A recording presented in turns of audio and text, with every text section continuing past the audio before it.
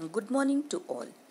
Let us complete the lesson Reaching the Age of Adolescence by covering the remaining topics of the chapter that is, determination of sex of the body, chromosomes, hormones other than sex hormones, role of hormones in insects and frogs, reproductive health. How is the sex of the baby determined? Boy or a girl?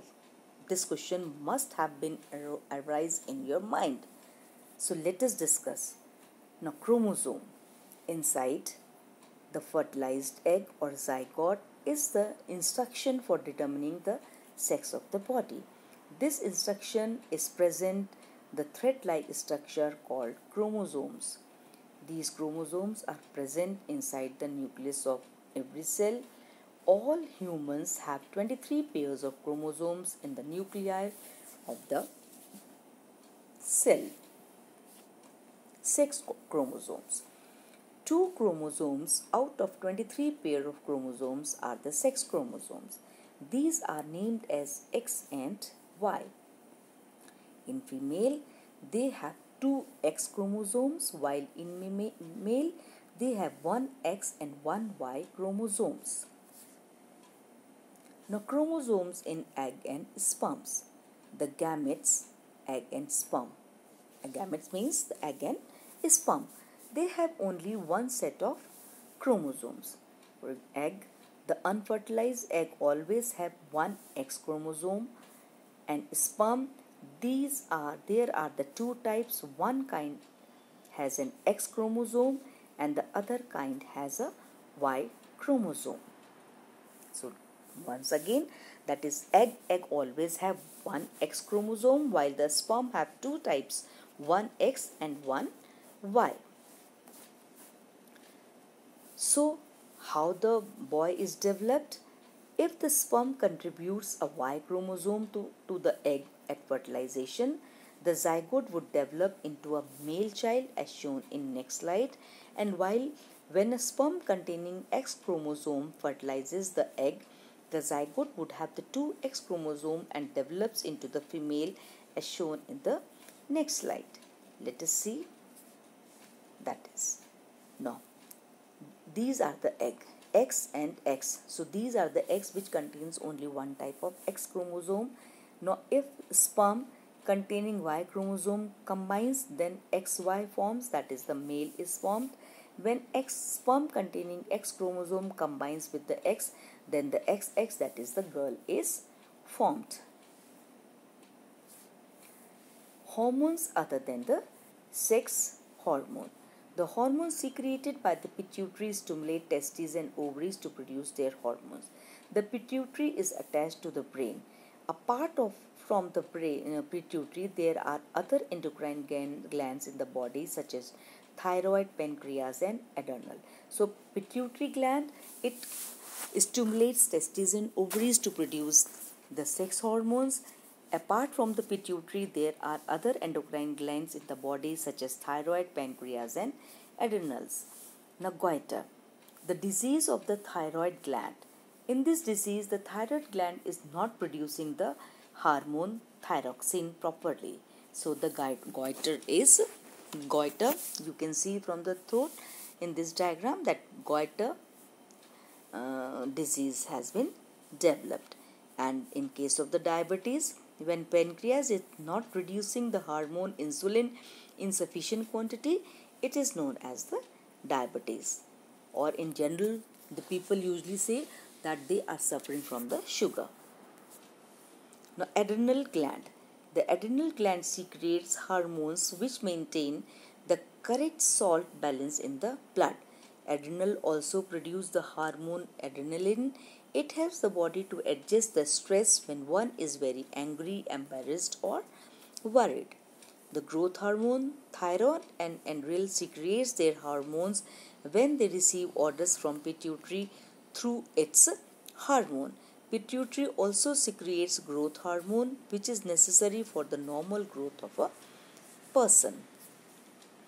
Metamorphosis the caterpillar has to pass through various stages to become an adult moth. This we have studied in the previous lecture, uh, in the previous chapter. The adult frog lays egg. The egg grows into the tadpole, which divides into early, early and late tadpoles. The late tadpoles then grows into the adult. Means the frog from the egg to become a adult frog, it passes through the many stages of the life. The larva into an adult through drastic changes is called the metamorphosis. Now, role of hormones in completing the life history of insects and the frog. Now, metamorphosis in insect is controlled by the insect hormones. In frog, it is controlled by the thyroxine, the hormone produced by the thyroid. Thyroxine production requires the presence of iodine in water. If the water in which the tadpoles are growing does not contain sufficient iodine, the tadpoles can't become adults. So it is quite surprising. It may be quite surprising for you that just like us, these animals also have the glands. We are having the thyroid. Uh, uh, having the uh, gland which is which, uh, which is producing the thyroxine the same is in the case of the frog also which is responsible for their completion of the completing the life history so if they do sufficient amount of thyroxine is no iodine is not in the water then tadpole can't become adult. Now productive reproductive health. The physical and the mental well-being of an individual is regarded as individual's health. To keep the body healthy every human being needs to have a balanced diet the person must also observe personal hygiene and undertake adequate physical health, physical exercise essential for the growth of the body. So, we can say that the balanced diet as well as the exercise both are essential for the growth of the body. Now, nutritional needs of the adolescence. Adolescence is a stage of rapid growth and development. So, the diet for an adolescent has to be carefully planned. The diet must be the balanced diet. So, that is the reason that your mothers, your parents, your teachers, everyone suggests you, guides you to eat the healthy food, the balanced diet. So, the growth or the changes in your bodies, the mental growth, intellectual growth, the growth of hormones everything is in a very good manner. So the diet must be the diet must be the balanced. Iron build blood and iron rich foods such as leafy vegetable jaggery meat etc are good for adolescents adolescent. Now balanced diet. The meal which includes protein carbohydrates, fats, vitamins in requisite proportion is known as the balanced diet. Roti, dal, pulses, milk, vegetables are a balanced diet. Fruit is also provide fruit also provide nourishment. For infants, mother's milk provide all the nourishments that they need. So at your age you must eat dal, roti, vegetables, fruits, milk, etc.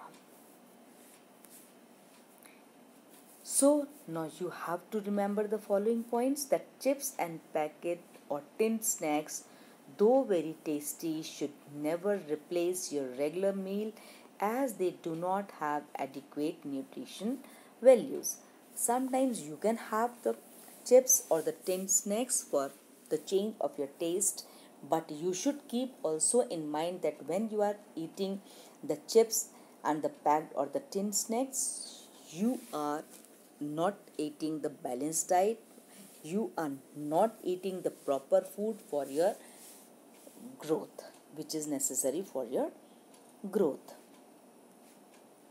So, you have to always eat the balanced diet and also be careful about the personal hygiene. Everyone should have a bath at least once every day it is more necessary for the teenagers because the increased activity of the sweat glands sometimes make the body body smelly. All parts of the body should be washed and cleaned every day. If cleanliness is not maintained, there are the chance, chances of catching bacterial bacterial infections. Now during the days of the COVID, it is also mandatory that you have to take care of the personal hygiene. Special care for the girls. Girls should take special care of cleanliness during the time of the menstrual flow. They should keep track of their menstrual cycle and be prepared for the onset of the menstruation. Physical exercise. Walking, playing in fresh air keeps the body fit and healthy. For that is why the Fit India movement is going on in our school also. All the students they are asked to do walking and running daily and to keep the record of it. All young boys and the girls should take walk, exercise and play outdoor games. Say no to drugs. Adolescence is a period of much activity in the body and the mind, which is normal part of growing up. So do not feel confused or insecure. If anybody suggests that you will get relief if you take some drugs, just say no unless prescribed by the doctors. Drugs are addictive. If you take them once, you feel like taking them again and again, and they harm the body. So they ruin health and happiness. So never go for the drugs. Drugs includes the tobacco also. So you should keep yourself away from the smoking, from the drugs, everything which is harmful for your body. Now, HIV human or immunodeficiency virus. HIV, the full form is human immunodeficiency virus. AIDS is caused by the dangerous virus HIV. This virus can pass on to the normal person from an infected person by sharing the syringe used for injecting drugs. It can also be transmitted to an infant from the injected mother through her milk. The virus can also be transmitted through the sexual contact with a person infected with HIV. So one should be or you should be very careful to keep yourself away from the or away from being infected by AIDS. So that is all. Thank you and have a nice day.